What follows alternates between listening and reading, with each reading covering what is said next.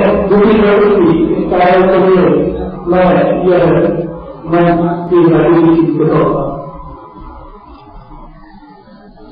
हम लोगों ने पहले सत्र में विश्व व्यापार संगठन समझौता और कृषि विषय पर होने वाले दुष्प्रभाव, खासकर किसानों के ऊपर होने वाले दुष्प्रभाव के बारे में थोड़ी बात किया। अभी विश्व व्यापार संगठन समझौते में, जैसा मैंने आपसे कहा लगभग 2000 शर्तें हैं। 2000 में से कुछ कृषि विषय की शर्तों पर सवेरे बात हुई उसी विश्व व्यापार संगठन समझौते में एक शर्त है, जिसके आधार पर हमारे देश की सरकार ने वैल्यू एडेड टैक्स मूल्य वर्धित कर देश में लागू करने का फैसला किया। फ़िलहाल हमारे देश में 18 राज्यों ने मूल्य वर्धित कर लागू किया है, एक अप्रैल से 2005 से। बाकी 12 राज्यों ने मना कर दिया कि हम लागू नहीं करेंगे। हमारे देश में वैल्यू टैक्स के बारे में डब्ल्यूटीओ का जो समझौता है, उसकी शर्त क्या है, जिस पर सरकार ज़ोर दे रही है? विश्व व्यापार संगठन समझौते में एक शर्त है कि टैक्स का ढांचा ऐसा होना चाहिए जो दूसरे देशों में किया हुआ है या बनाया हुआ है।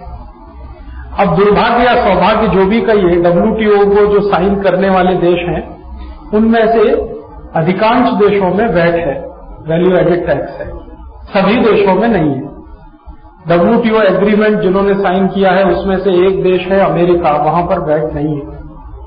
इसी तरह से डब्ल्यूटीओ जिन्होंने साइन किया है उसमें से एक देश है इराक वहाँ वैट नहीं है। ईरान ईरान में वैट नहीं है। ऐसे लैटिन अमेरिका के कई सारे देश हैं, वहाँ भी वैट नहीं है। लेकिन यूरोप के कई देशों में वैट है। फ्रांस है, जर्मनी है, स्वीडन है, स्विट्जरलैंड है, डेनमार्क है, नॉर्वे है। ऐसे कई देशों में वैट है। तो हमारे देश में पहली बात जो वैट लाने के लिए सरकार के द्वारा कही गई है, वो ये है कि चूँकि विश्व व्यापार संगठन समझौते की शर्त है इसलिए हमको वैट लाना है। शर्त क्या है? कि जैसा दूसरे देशों में है, अधिकांश देशों में है, वैसा ही टैक्स की व्यवस्था आपको करनी है। तो अधिकांश देशों में वैट है तो भारत में भी वैट लाना है। ये एक शर्त है। अब हमारे देश की सरकार वैट के बारे में इतना तो कहती है कि विश्व व्यापार संगठन समझौते की शर्त के अनुरूप हम वैट ला रहे हैं। लेकिन विश्व व्यापार संगठन समझौते में ये नहीं है कहीं पर कि वैट लाना तो कैसे लाना किन आधारों पर लाना? उसका टैक्स रेट कितना रखना? उसके कितने स्लैब बनाना? उसमें कितने क्लासिफिकेशन करना? उसमें पेनल्टी क्या होना? उसमें पनिशमेंट क्या होगा? उसमें प्रमोशन के लिए क्या होगा? ये सब कुछ नहीं है डब्ल्यूटीओ की कंडीशन बस एक ही बात उसमें लिखी हुई है कि जैसा दूसरे देशों में है, वैसा ही वैट भारत में आप लाइए। अब सरकार क्या कर रही है? आधा सच बोल रही है और आधा छुपा रही है। जैसा दूसरे देशों में है, वैसा वैट लाइए, ऐसा उसमें है। लेकिन हिंदुस्तान की सरकार वैट तो ला रही है, लेकिन दूसरे देशों जैसा नहीं ला रही दूसरे देशों में जो वैट है, उनकी कंडीशंस अलग हैं बिल्कुल भारत की तुलना में। 123 देशों में जहाँ जहाँ वैट है वहाँ सभी जगहों पर सरकारों ने सारे तरह के दूसरे टैक्स खत्म करके वैट लाया है। भारत देश की सरकार दूसरे सभी टैक्सों के साथ वैट ला रही है। सबसे बड़ा अंतर यह है।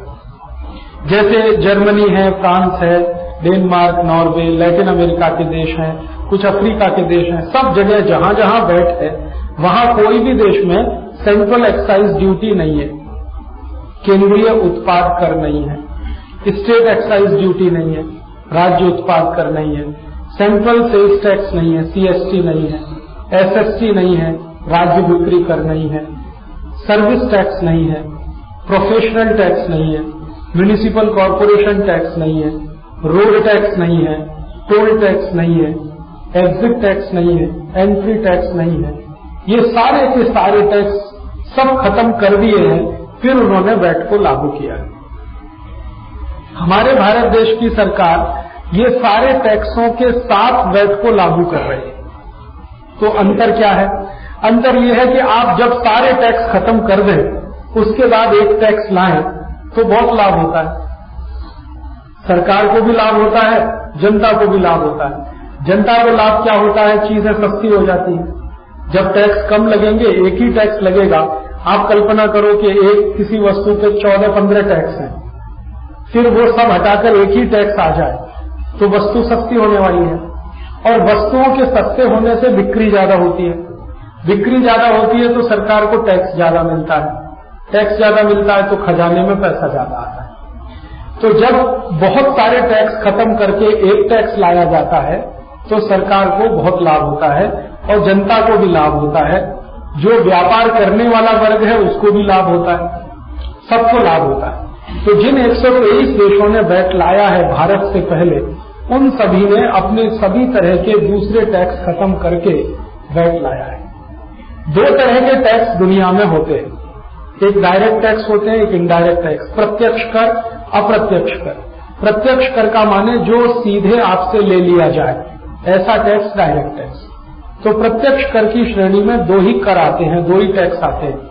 एक तो इनकम टैक्स होता है, आयकर होता है, दूसरा होता है निगम कर कॉरपोरेट टैक्स कॉरपोरेट टैक्स भी इनकम टैक्स ही है, लेकिन वो कंपनियों के ऊपर लगता है। और इनकम टैक्स जो है, व्यक्तिगत लोगों पर लगता है। तो डायरेक्ट टैक्स दुनिया में दो income tax corporate tax indirect taxes ढेर सारे। जैसे सेंट्रल एक्साइज ड्यूटी माने केंद्रीय उत्पाद कर, वस्तुओं के उत्पादन पर लगने वाला, ये इनडायरेक्ट टैक्स है।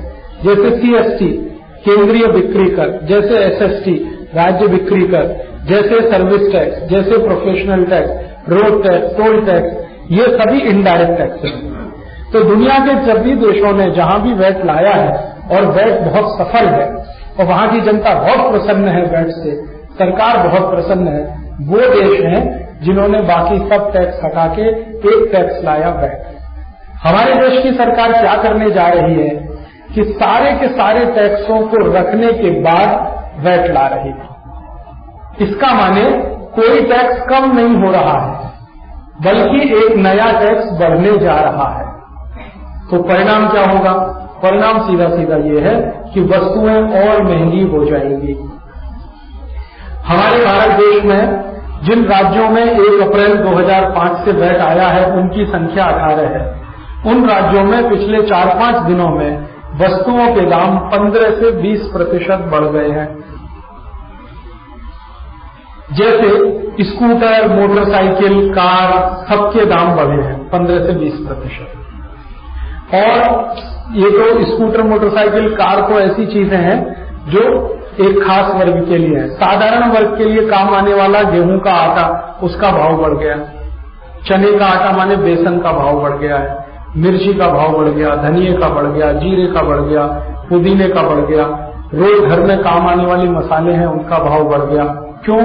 क्योंकि वहाँ पर पहले तो टैक्स थे ही, उसके साथ एक और आ गया वैट तो इसलिए यहाँ महँगाई बढ़ेगी। महँगाई बढ़ेगी तो लोगों को तकलीफ़ होगी। वैसे ही इस देश में बहुत ज़्यादा टैक्स हैं। वैट आने के बाद तकलीफ़ और बढ़ने वाली है। क्यों? हमारे भारत में क्या होता है और दुनिया के दूसरे देशों में क्या होता है? दूसरे देशों में जहाँ भी वैट है, वहाँ पर वैट जो है ना सिंगल पॉइंट है। सिंगल पॉइंट का माने एक बार लेने वाला, एक बार दिया जाने वाला। भारत में जो वैट आया है, वो बहुत सारे बिंदुओं पर आ रहा है मल्टीपल पॉइंट हमारे यहाँ वैट कैसा है? वैट का मतलब है, वो कोई वस्तु को जितनी बार आप बेचो, उतनी बार उस पर टैक्स कोई वस्तु को आप जितनी बार बेचो, उतनी बार टैक्स जैसे मैंने इनसे कोई चीज़ सौ रुपए में खरीदी तो इन्होंने मुझे बेची तो ये उस पर टैक्स भरेंगे बैठ अब वो वस्तु को मैं इनको डेढ़ सौ रुपए में बेचू तो मैं भरूँगा, फिर बैठ ये डेढ़ सौ रुपए से दो सौ में उनको बेचे, ये फिर भरेंगे उस पर टैक्स वो किसी को और तीन सौ रुपए में बेचे, फिर भरेंगे। तो जितनी बार वो बिकती रहेगी, उतनी बार उस पर टैक्स लगता रहेगा। भारत में इस तरह का आ रहा है। दूसरे देशों में क्या है?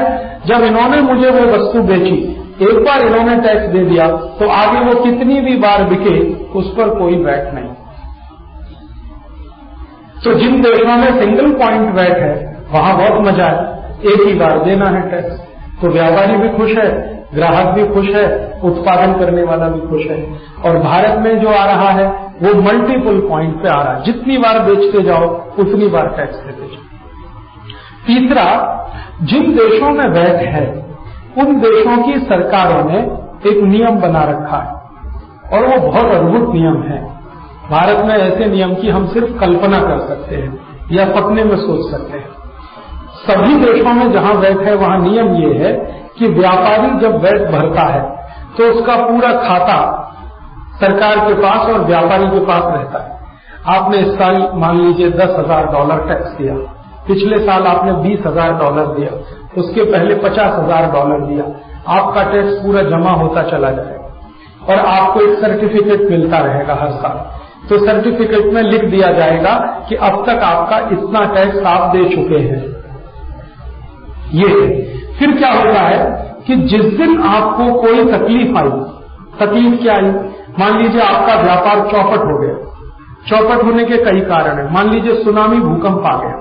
उसमें आपकी दुकान डूब गई, या आपकी फैक्ट्री डूब गई, या भूकंप आ गया जलजिला आ गया, आग लग गई, कुछ भी हो गया। तो आपने जो टैक्स भरा है, वो पूरा का पूरा आपको वापस मिलेगा। क्यों?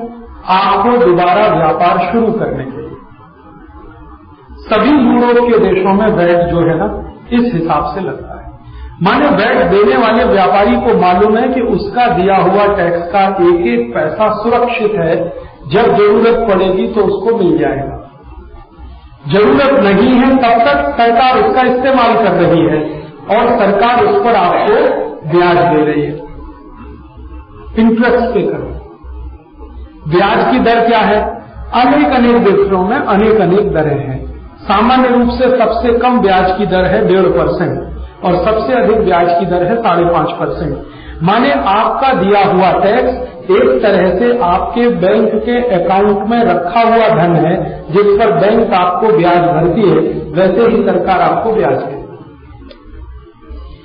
आपका दिया हुआ टैक्स बैंक के अकाउंट में रखा हुआ धन है, जिसको जब चाहे आप निकाल सकते हैं, ज़रूरत के लिए इस्तेमाल कर सकते हैं।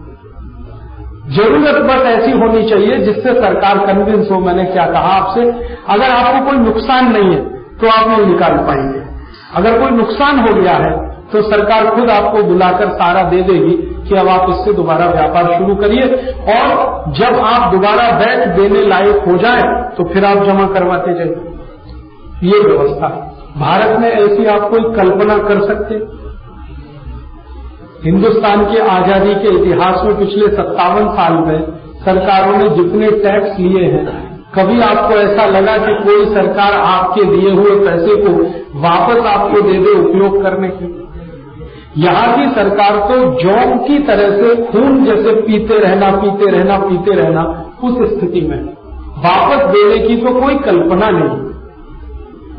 और एक इंटरेस्टिंग बात, कि जिन देशों में वैट है, खासकर यूरोप के देशों में दुनिया में सबसे पहले वैट आया। दुनिया में सबसे पहला वैट लगाने वाला देश है जर्मनी। तो उन देशों में जो दर है टैक्स की दर, वो अधिक से अधिक मैक्सिमम छह परसेंट है। छह परसेंट से ज़्यादा कोई भी वस्तु पर वैट नहीं है। भारत में क्या है? भारत में अधिक से अधिक वैट की दर बीस परसेंट है। आपको मालूम है भारत में वैट की दर के चार स्लैब हैं। एक है जिस पर ज़ीरो वैट है। एक है जिस पर साढ़े चार परसेंट वैट है। एक है जिस पर साढ़े बारह प्रतिशत वैट है। और चौथी एक स्लैब है जिसमें 20 परसेंट है। 20 परसेंट वाली जो वस्तुएँ हैं, वो पेट्रोलियम प्रोडक्ट है। डीजल है, पेट्रोल है, कैरोसिन है, एलपीजी है, सीएनजी है, यूरिया है, डीएपी है, सुपर फॉस्फेट है। ये यूरिया, डीएपी सब पेट्रोलियम प्रोडक्ट्स में आते हैं। तो इन पर 20 परसेंट के हिसाब से है। और वहाँ देशों में 6 परसेंट से ज़्यादा कहीं भी नहीं है। जर्मनी में हाईएस्ट टैक्स रेट है वैट का, वो सिक्स परसेंट। तो वहाँ सिर्फ़ छह प्रतिशत है, और वो भी एक बिंदु पर है। एक बार देख लिया दिया छुट्टी हो गई। यहाँ 20 परसेंट है, और बार बार है। तो मैंने अभी थोड़े दिन पहले हिसाब निकाला। हिंदुस्तान में क्या होता है, सामान्य रूप से कोई वस्तु कारखाने में जब बनती है, और ग्राहक तक पहुँचती है, उसके पहले वो तीन, चार, पाँच हाथों में से गुजरती है। स्टॉकिस्ट के पास गया डिस्ट्रीब्यूटर के पास गया एरिया रिटेलर के पास गया, फिर रिटेलर के पास आया, और भी एक आध इसमें बीच की कड़ी हो सकती है। तो यहाँ सामान्य रूप से चार पाँच हाथों में गुजरकर वस्तु ग्राहक तक पहुँच रही है। तो यहाँ क्या होगा? बार बार वैट लगेगा। तो 20 परसेंट वाली वस्तु में मैंने हिसाब जोड़ा है।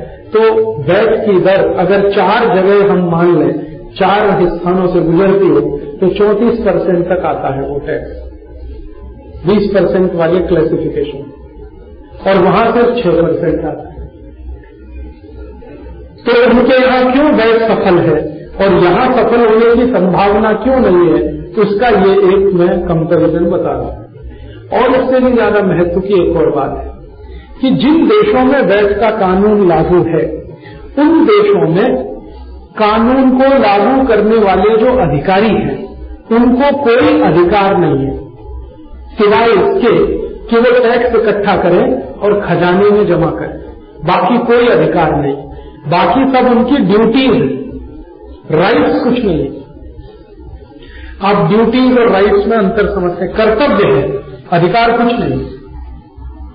वहाँ तो उनको अधिकारी भी नहीं कहा जाता है। टैक्स कलेक्टर कहा जाता है। ऑफिसर नहीं है। कलेक्टर है। और उनके यहाँ कलेक्टर के पास कोई अधिकार नहीं है। सिवाय इसके कि वो आपके पास आए और आपके पास जो बैठ की धनराशि है वो लेके सरकार के खजाने में जमा कर दे। इससे ज़्यादा कुछ नहीं। भारत में क्या है? भारत में जो टैक्स कलेक्टर है, उसको सब तरह के अधिकार सरकार ने दे दिए। कैसे कैसे अधिकार दे दिए हैं? जैसे वैट को लागू करवाने वाला जो अधिकारी है, वो कौन होने वाला है? वो सेल्स टैक्स ऑफिसर होने वाला है, या सेल्स टैक्स कमिश्नर या सेल्स टैक्स इंस्पेक्टर माने सेल्स टैक्स का जो विभाग था, बिक्री कर विभाग, उसी को सरकार अब वैट की ज़िम्मेदारी देने जा रही है। तो जो वैट इकट्ठा करेगा, उसको अधिकार क्या क्या है? दूसरे देशों में तो कुछ नहीं है। सिवाय रकम इकट्ठा करके खजाने में भरने के, इतना ही है। हमारे यहाँ क्या क्या है? हमारे यहाँ कोई भी अधिकारी जो वैट ले रहा है, वो कभी भी आपकी दुकान में आ सकता है और आपका कैश चेक कर सकता है।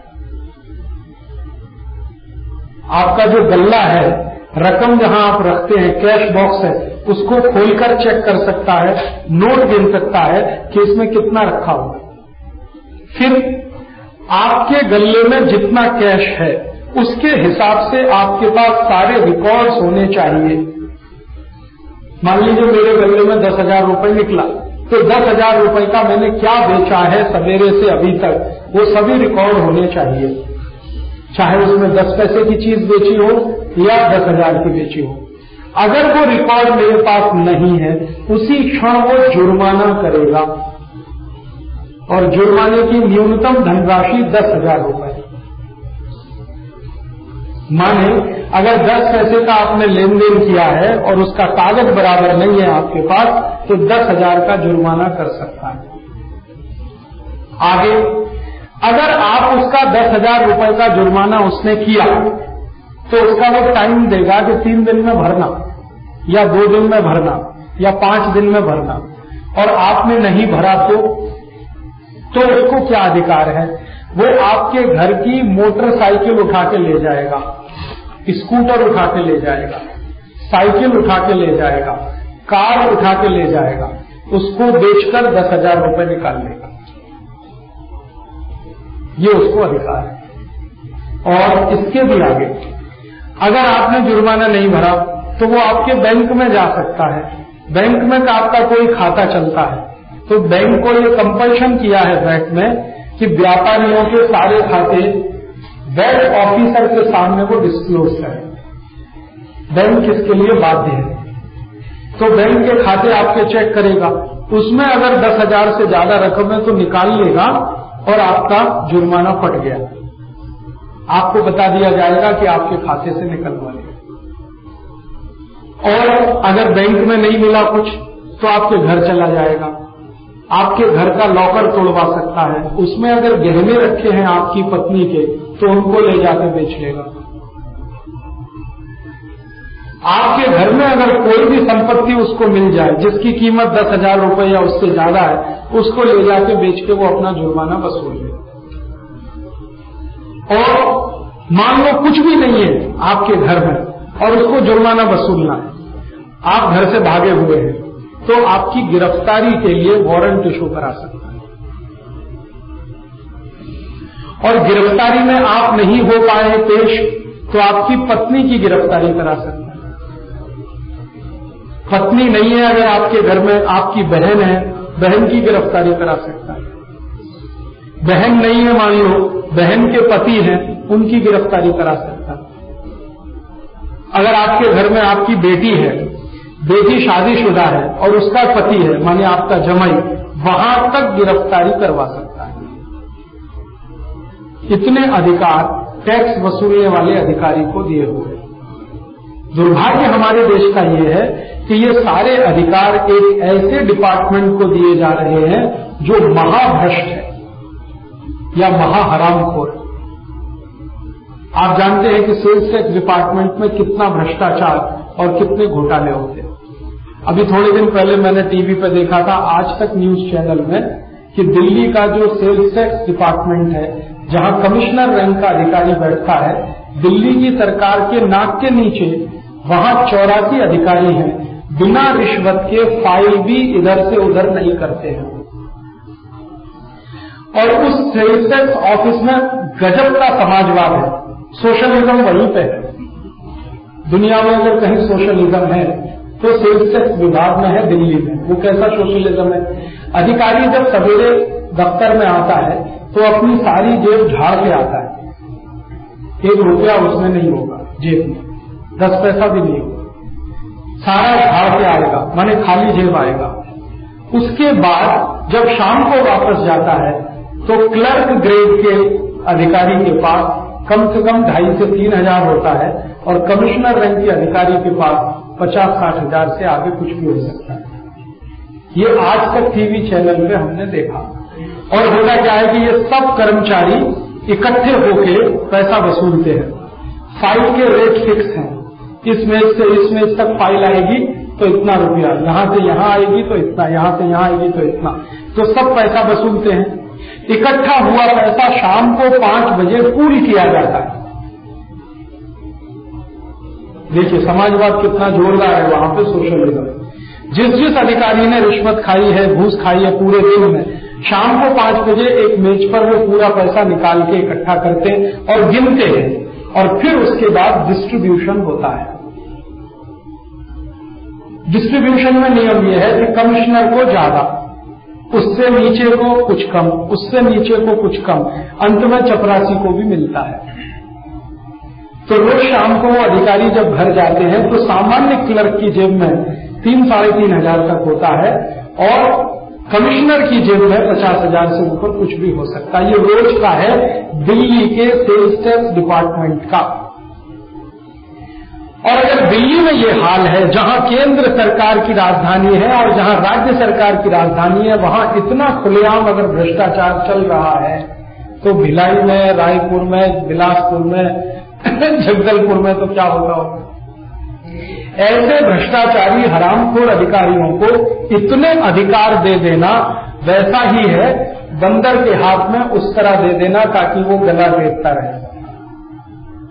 अब इसमें क्या होने वाला है कि अधिकारी अगर आपसे खुन्नस खा गया तो रगड़ देगा, इतने अधिकार उसके पास है। और मज़े की बात यह है कि अधिकारी अगर गलती करे तो उसके खिलाफ आप कुछ नहीं कर सकते। वैट में ऐसा कोई प्रावधान नहीं। सेल्स टैक्स में तो आज ये है कि अगर अधिकारी ने गलती की तो आप उसके खिलाफ अदालत में जा सकते हैं। सेल्स टैक्स के अपने कोर्ट हैं इनकम टैक्स के अपने कोर्ट हैं, आप वहाँ जा सकते हैं। और हाई कोर्ट में भी जा सकते हैं, सुप्रीम कोर्ट में तो जा ही सकते हैं। वैद का अधिकारी अगर आपके खिलाफ कुछ गलती किया तो आप उसकी शिकायत कहीं नहीं कर सकते। ऐसा कोई फोरम नहीं। सरकार कह रही है कि हम इस पर विचार करेंगे थोड़े दिन में कि ऐसी व्यवस्था बने। अभी तक नहीं है। और ऐसी स्थिति में अधिकारियों को सारे अधिकार दे देना। आपकी संपत्ति जब्त करने का अधिकार, आपको वारंट इशू करने का अधिकार, गिरफ्तारी करवाने का अधिकार, आपके बैंक से पैसा निकालकर जुर्माना वसूल लेने का अधिकार, आपकी संपत्ति बाज़ार में बिकवा कर जुर्माना वसूल लेने का अधिकार, ये इतने खतरनाक अधिकार हैं जो कभी अंग्रेज़ों ने भी इस देश में किसी टैक्स कलेक्टर को नहीं दिए थे। वो भारत की सरकार वैट के अधिकारियों को दे रही है। अब इसमें मज़े की बात यह है कि डब्ल्यूटीओ की शर्तों में ये कहीं भी नहीं लिखा हुआ है। डब्ल्यूटीओ में सिर्फ़ इतना लिखा हुआ है कि जैसे दूसरे देशों में बैठे वैसे आप भी लाइए। लेकिन दूसरे देशों में इतना सरल और आसान बैठ है, वो यहाँ लाने की कोशिश है। और सबसे महत्व की बात, जिन देशों में वैट है, यूरोप में और यूरोप के पड़ोसी देशों में, वहाँ एक अद्भुत नियम है कि वैट इकट्ठा करने वाले किसी अधिकारी को सैलरी नहीं मिलती है, पगार नहीं मिलती तनख्वाह नहीं मिलती कमीशन मिलता है। आपने मान लीजिए दस हज़ार डॉलर टैक्स इकट्ठा किया तो उसमें एक परसेंट कमीशन आपको मिला, या दो परसेंट दो परसेंट से ज़्यादा कहीं नहीं, सैलरी नहीं। सैलरी नहीं है इमोल्यूमेंट्स नहीं है अलाउंसेज नहीं है, कुछ नहीं बस आपको कमीशन है। उस कमीशन की आमंदनी से आपको अपना घर मेंटेन करना है। किसी भी वेट ऑफिसर को सरकार का घर नहीं मिलता। सरकारी बंगला जो मिलता है ना, यहाँ जैसे कमिश्नर है और ये सब है। किसी भी दुनिया के देश में वेट इकट्ठा करने वाले किसी अधिकारी को सरकारी घर नहीं मिलता। उनको अपने किराए के घर में रहना है या अपने घर में रहना है? सरकारी कार नहीं मिलती, अपनी कार रखनी है, उसका डीजल खर्चे मेंटेन करने हैं खुद। मोबाइल सरकार नहीं देती, मोबाइल अपना रखना है। टेलीफोन भी सरकार नहीं देती, आपको टेलीफोन का खर्चा खुद वहन करना। कोई सरकार सुविधा नहीं। सरकार आपको कमीशन दे रही है, उससे आप अपनी सुविधाएँ बनाइए मेंटेन करिए। और हर अधिकारी को एक एरिया बांट दिया जाता है। उतने एरिया में आप टैक्स इकट्ठे करते रहिए, अपना कमीशन उसमें से लेते रहिए, व्यवस्था चलाते रहिए। और उससे भी मज़े की बात, एक साल के बाद उस अधिकारी से टैक्स कलेक्शन का काम वापस लिया जाता है। एक साल मिनिमम अधिक से अधिक तीन साल। माने कम से कम एक साल वो काम करेगा, अधिक से अधिक तीन साल। हर हालत में तीन साल के बाद उससे काम वापस लिया जाएगा। फिर अगर वही अधिकारी टैक्स कलेक्टर दोबारा वो काम करना चाहे तो तो सरकार की एक परीक्षा उसको पास करनी पड़ती है। सरकार एक इम्तहान लेती है उसका। उस इम्तहान में बैठने के लिए उसको एक सर्टिफिकेट लगता है। और वो सर्टिफिकेट उसको देने वाला कौन होता है? जो टैक्स भरने वाला नागरिक है, वो उसको सर्टिफिकेट बना के देता है। सर्टिफिकेट क्या देता है कि ये अधिकारी बहुत ईमानदार है, ये बहुत मेहनती है, ये बहुत कर्मठ है, ये अपशब्द नहीं बोलता है, इसको गुस्सा नहीं आता है, ये कभी गाली नहीं देता है, ये टैक्स अदा करने वालों के साथ, इज़्ज़त के साथ पेश आता है। ऐसे ऐसे उसमें आठ दस पॉइंट रहते हैं। आप उस पर टिक टिक करिए। जब वो उसमें सर्टिफिकेट लेके जाएगा, जमा करेगा, तब सरकार उसको दूसरी बार इम्तहान में बैठने की अनुमति देती है। ये व्यवस्था है। तो इसलिए वो जो टैक्स इकट्ठा करने वाला, उसके सिर पे हमेशा तलवार लटकती रहती है कि अगर मैंने थोड़ा भी बदतमीजी की तो मेरा पीआर करेक्टर सर्टिफिकेट गया। तो इसलिए वो कभी भी बदतमीजी नहीं करता, टैक्स देने वालों के खिलाफ। न अपशब्द बोलता है, न गाली देता है, न बदतमीजी करता है। और न उनको हैरान परेशान करता है। कुछ देशों में ऐसा भी है, कुछ देशों में तो इम्तहान देना पड़ता है। लेकिन कुछ देशों में अद्भुत व्यवस्था है। ये जो नॉर्वेजियन कंट्रीज़ है, वहाँ क्या होता है कि टैक्स लेने वाले कलेक्टर को चुनाव लड़ना पड़ता है। इलेक्शन में खड़ा होना पड़ता है। और उसको मैक्सिमम वोट मिले तो दूसरी बार वो ये काम कर सकता है। और वोट उसको कौन देता है? जो टैक्स देने वाला है, वो उसको वोट दे ऐसी व्यवस्थाएँ हैं जिन पर वैट लागू है और वहाँ बहुत सफल है। सफल होने के कारण मैंने आपको बता दिया। जनता बहुत प्रसन्न है क्योंकि जनता ऊपर है टैक्स लेने वाला नीचे जनता थोड़ी भी नाराज़ हो गई तो अधिकारी की खैर नहीं। थोड़ी भी नाराज़ हो